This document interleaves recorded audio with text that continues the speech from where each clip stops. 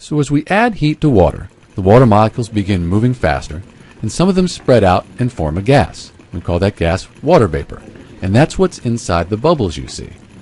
These bubbles rise to the surface, and this is what we call boiling. So we'll start with the water molecule. The red is oxygen, and the two white atoms are hydrogen. That's H2O. Water molecules are always moving. When we add heat, they move faster. And if we add enough heat, they'll spread out and they'll form a gas. We call that gas water vapor. Note that there's nothing between the atoms here. The black is empty space.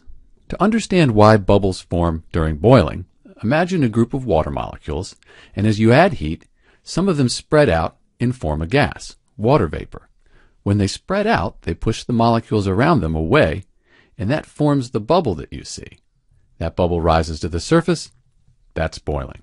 Remember, there are only water molecules in those bubbles. They're very energetic water molecules in the form of a gas, which we call water vapor.